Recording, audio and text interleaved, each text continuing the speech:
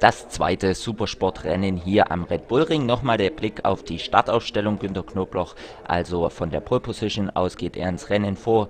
Jesko Günther, Daniel Sutter und Roman Raschle. Dann Kerschbaumer in Reihe 2, genau wie Marc Moser.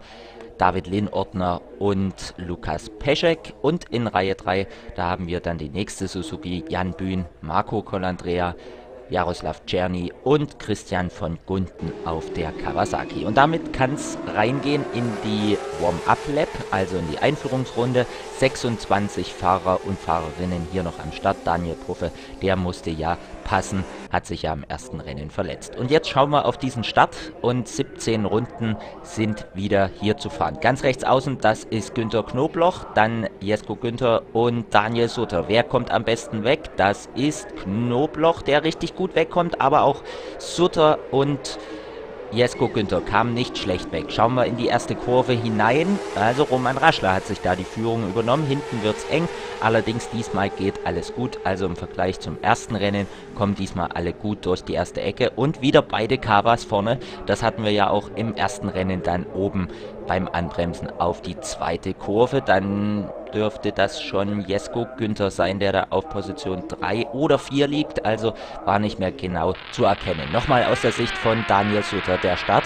Hinter ihm direkt David Lehnordner. Auch die dritte Kaba, Christian von Gunten, kam gut weg.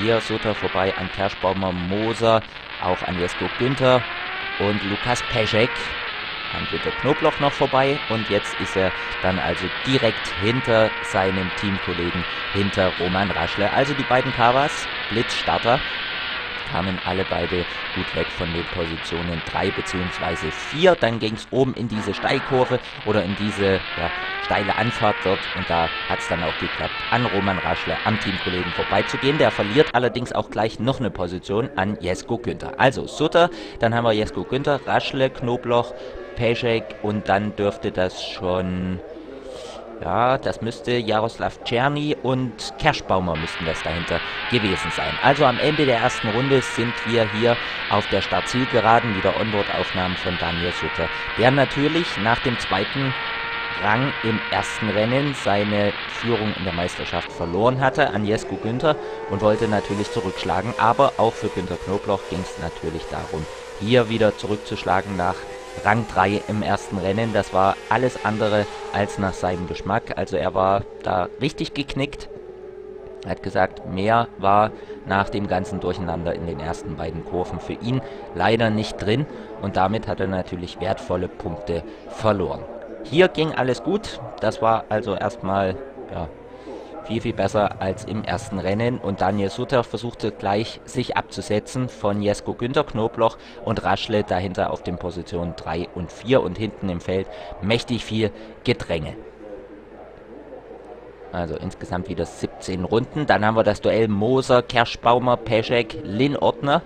Und hier Thomas Walter vor Jan Bühn. Thomas Walter, der hatte ja nach seinen drei Nullern jetzt in Folge, also zweimal Null Punkte in Schleiz, durch die zwei Ausfälle, dann der Ausfall im ersten Rennen. Der hat gesagt, jetzt wird alles anders gemacht. Jetzt kommt der weiße Helm drauf, jetzt kommt das Halsband oder das Halstuch weg. Das sind alles so Glücksbringer oder eben in letzter Zeit Unglücksbringer bei ihm gewesen. Und deshalb hat er vieles geändert. Wie gesagt, war nicht ganz zufrieden mit der Performance seines Motorrads hier am Wochenende. War da ein bisschen auf verlorenen Posten. So, das ganze Feld immer noch ganz, ganz dicht beieinander, aber wir haben schon gesehen, Thomas Walter wieder ein bisschen zurückgefallen, hat er Positionen gegen Jan Kühn und Tatulaus Leto verloren. Auch Sarah Heide am Ende des Feldes ebenfalls auf einer Suzuki vom Team Suzuki Laux. Wir sind also in der dritten Runde. Vorne hat sich nichts getan. Moser dahinter auf 5, dann Kerschbaumer, Peschek, Lin Ortner. Dann müsste das Czerny gewesen sein. Die Reihenfolge hier im Infield in dieser Doppellinkskurve. Da sind wir jetzt also. Colandrea ist dann noch mit dabei. Dann von Gunten hinter Colandrea gewesen. Wir haben Randy Harmuth und Sarah Heide. Im Moment auf der viertletzten Position vorne. Jesko Günther ließ nicht abreißen, also er blieb dran an Daniel Sutter. Aber im Moment noch keine Chance dort vorbeizugehen am Schweizer. Und da hebt schon einer die Hand. Das müsste auf der Kawasaki Christian von Gunden sein, der da also ausrollt. Sie sehen das links, da geht es geradeaus, um da niemanden im Weg zu stehen. Also da gab es technische Probleme an der Kawasaki und für, von daher das Aus in dieser vierten Runde für Christian von Gunden, der ja erstmals an diesem Wochenende in dieser Saison in eine der ersten drei Startreihen, nämlich auf Position 12 gefahren ist. Also für ihn das Rennen jetzt auch schon vorbei. Also da sollten auch noch bis zum Rennende ein paar Ausfälle dazukommen und auch ein paar, die ganz, ganz ärgerlich sind und auch entscheidend sein könnten im Kampf um den Meistertitel in der IDM Supersport. So, Ende der vierten Runde. Jesko Günther ist ganz nah dran an Daniel Sutter. Schauen wir mal, ob es da schon eine Attacke geben kann. Ja, da ist er zu weit weg. Allerdings dann diese Situation hier, weite Linie von Daniel Sutter und da ist Jesko Günther dann doch vorbei. Also aus eigener Kraft hat es dann nicht geschafft.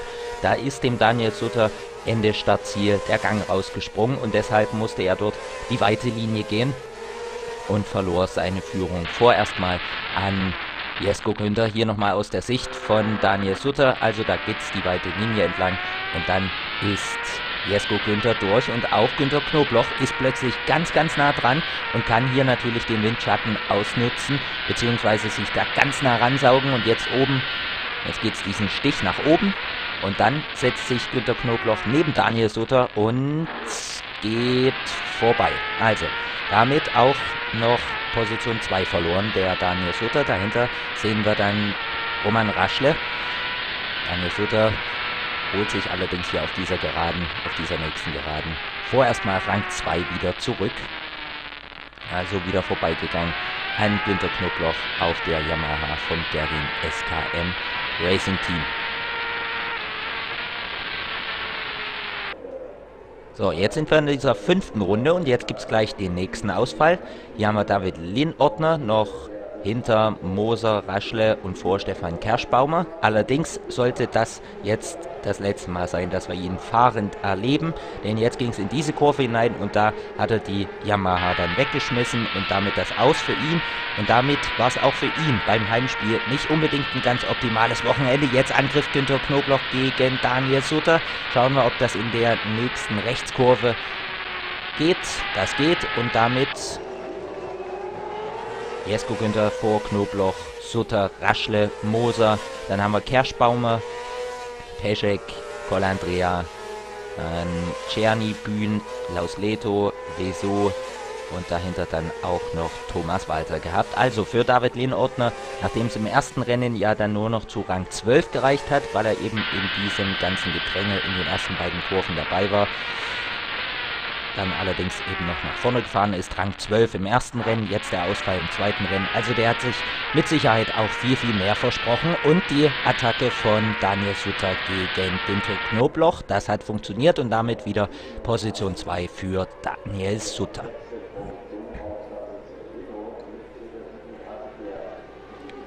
Also die ersten drei das war eigentlich so zu erwarten gewesen, waren alle drei im Vorfeld hier schon mal testen gewesen die ersten drei der Gesamtführ oder der Gesamtwertung in der IDM Supersport. Und da war auch nach dem Training schon zu erwarten, dass die drei hier ein Feuerwerk abbrennen werden auf der Strecke. Also wie die losmarschiert sind, das war schon eindrucksvoll.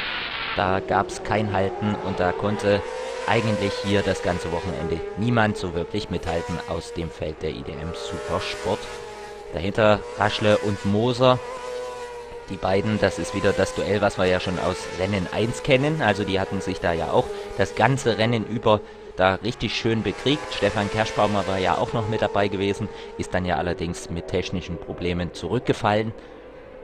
Also da haben wir genau wieder das gleiche Duell. Hier hatten wir es im Bild. Raschle im Moment vor Mark Moser, dann Kerschbaumer dahinter. Also die ersten drei und dann die nächsten drei, das sind die gleichen Gruppen wie am Tag zuvor. Jetzt weite Linie von Roman Raschle und damit Marc Moser wieder vorbei auf Position 4 gefahren. Hier haben wir wieso Thomas Walter, Luca Hansen ist da am Ende dieser Gruppe noch mit dabei, genauso wie Gabriel Leuger, Konstantin Pisarev und Kevin van Leuven. Die sind dort also ebenso noch im Kampf um die Plätze 15 bis 10 involviert.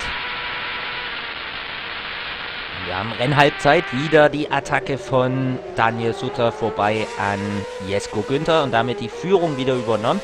Und damit wäre im Moment mal wieder der Daniel Sutter Gesamtführender. Aber hier ist ja, wie gesagt, noch die Hälfte des Rennens zu fahren. Wir sind gerade mal in der achten von insgesamt 17 Runden. Also die ersten drei. Das gleiche Bild wie am Samstag über weite Strecken des Rennens. Da gelang es ja Günter Knobloch nicht an Jesko Günther und Daniel Sutter vorbeizugehen. Und Daniel Sutter hatte da ja auch lange Zeit geführt, dann allerdings Jesko Günther vorbeigegangen und den Sieg relativ sicher nach Hause gebracht. Jetzt haben wir hinten die Attacke, naja, Gut, Attacke war es noch nicht ganz. Aber er ist zumindest mal ganz nah dran, der Günther Knobloch. Hier beim Heimspiel am Jesko Günther. Also die Yamaha vom Vector KM Racing Team. Im Moment noch vor der Yamaha vom Gerin SKM Racing Team. Und ganz vorne, da ist es allerdings im Moment grün, nämlich eine Kawasaki vom Kawasaki Schnapp-Team Shell Advance. So, wir schauen mal, wer noch alles raus ist. Pisarev hier vorbei an Thomas Walter. Wir schauen mal, wer noch alles raus ist. Also in Runde 5 Jaroslav Czerny dann ausgeschieden. Dann in Runde 6 Marco Nekvasil vom Racepoint Berlin. Der Youngster ebenso raus. Und in Runde 9 sollte dann auch noch Pepian Biesterbosch folgen. Genauso wie Jerzy Klech auf der gelben Yamaha mit der Startnummer 62. Der Gaststarter aus der Tschechischen Republik ebenso raus hier in Runde 9. Dann Tatu Blaus Leto, der ja ebenso in diesen Sturz, in diese ganzen Vorfälle in der ersten Kurve im Samstagsrennen verwickelt war, konnte allerdings weiterfahren und am Ende zumindest mal noch auf Position 8 vorfahren. Moser vor Raschle, dann Stefan Kerschbaumer.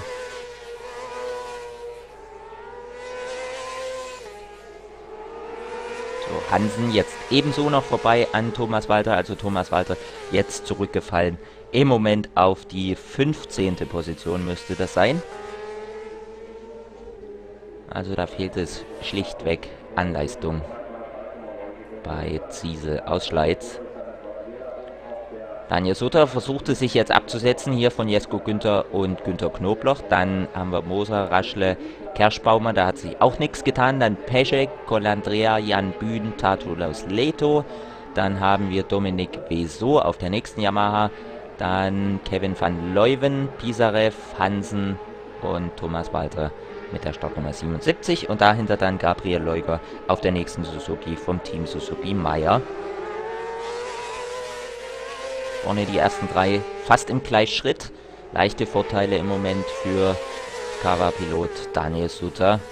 Er konnte sich da also minimal, aber wirklich nur minimal absetzen. Sie sehen das hier im Bild. Das war eigentlich kaum der Rede wert, aber er war eben doch immer ein bisschen schneller. Aber nicht in allen Streckenabschnitten. Jesko Günther, der hatte seine Vorteile im zweiten Streckenabschnitt. Kam da immer wieder ein bisschen näher ran. Das, was er auf dem ersten Abschnitt verloren hat. Das hat er dann im zweiten und dritten alles wieder so ein bisschen aufgeholt. Aber trotzdem reichte es für Daniel Sutter im Moment, sich ein bisschen abzusetzen, der uns ja zu Beginn des Rennens hier diese Onboard-Aufnahmen noch geliefert hatte.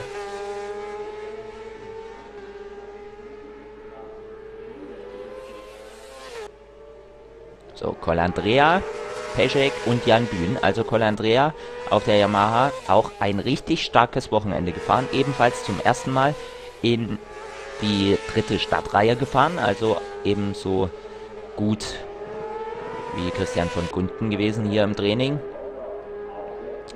Ist Colandrea ja in diesem Jahr auch noch nicht gelungen im Vorfeld. Und das Rennen hier, das lief für ihn auch richtig, richtig gut.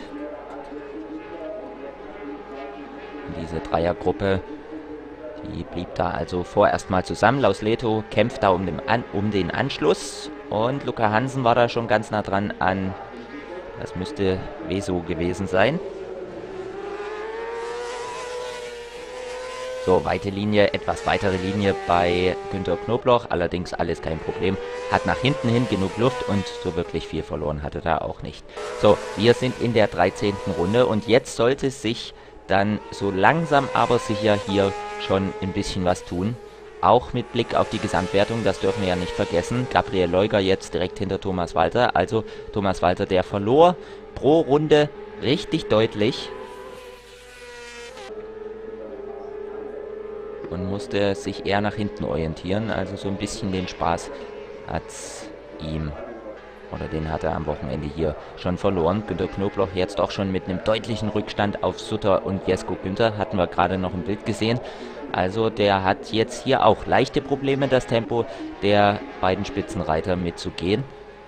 Vorne allerdings ganz knapp zwischen Sutter und Jesko Günther. Und plötzlich, plötzlich das Bild hier. Also, Jesko Günther vorne vor Günther Knoblauch und es fehlt uns Daniel Sutter. Und Daniel Sutter scheidet hier nach 13 Runden aus, also eingangs der 14. Runde, das Aus für den Schweizer. Und das ist natürlich eine ganz, ganz ärgerliche Sache. Er hat das Motorrad nicht in den Dreck gelegt, sondern da gab es ein technisches Problem am Motor. Er hat gesagt, ich hätte ja ganz gerne noch weitergemacht, aber das Motorrad wollte nicht und da gab es also einen Motorschaden und deshalb das Aus für ihn hier kurz vor dem Ende und er war ja in Führung liegend und das wäre natürlich ganz, ganz wichtig gewesen mit Blick auf die Gesamtwertung. Jetzt freie Fahrt für Jesko Günther hin zum Doppelsieg an diesem Wochenende und damit würde er sich natürlich auch die Führung in der Gesamtwertung zurückholen. Hätte dann im Moment mal 17 Punkte Vorsprung auf Günther Knobloch, der dann der dann natürlich Position 2 in der Meisterschaft übernehmen würde, wenn die denn das jetzt hier noch diese zweieinhalb Runden, beziehungsweise zwei Runden sind es jetzt nur noch, über die Bühne bringen. Also bei Kawa, da hatte man leichte Probleme an diesem Sonntag bei diesen tropischen Temperaturen. Also 48 Grad Streckentemperatur, Asphalttemperatur. Ja, und außenrum in der Sonne, da waren es gut und gerne auch 40 Grad. Also es war schon richtig hart und das konnten die Motoren scheinbar nicht wirklich ab. Wir hatten ja Christian von Gunten schon zu Beginn des Rennens gesehen, der ausgefallen war mit technischen Problemen. Und jetzt eben auch Daniel Sutter. Schade, schade. Aber noch ist da nichts verloren. Also selbst wenn Jesko Günther dieses Rennen jetzt gewinnt und diese letzte Runde, diese letzten 4,326 Kilometer ordentlich über die Bühne bekommt, 25 Punkte holt und hier einen Doppelsieg feiert und der Knoblauch Rang 2 nach Hause bringt, dann ist für Daniel Sutter noch nicht alles verloren. Also er hat dann zwar einen ordentlichen Rückstand schon, hat dann 11 Punkte Rückstand auf Günter Knobloch und 28 Punkte auf Jesko Günther. Aber wie schnell das gehen kann, haben wir hier im Rennen gesehen. Jesko Günther auf den letzten Metern, dann Knobloch und Marc Moser, der kam dann nochmal näher ran an Günter Knobloch. Und hier haben wir Roman Raschle auf Position 4. Da brennt auch nichts mehr an. Stefan Kerschbaumer wird Fünfter. Und dahinter dann Peschek auf der 6. Und dann dieses diese Gruppe mit Jan Bühn, Laus Leto und Col Andrea, die haben wir gesehen und dann war es vorbei. Jesko Günther feierte einen Doppelsieg am Ende hier relativ ungefährdet, profitierte natürlich ein bisschen davon, dass Daniel Sutter hier das Rennen nicht zu Ende fahren konnte. Günther Knobloch wird beim Heimspiel einmal Dritter und hier im zweiten Rennen Zweiter, freute sich.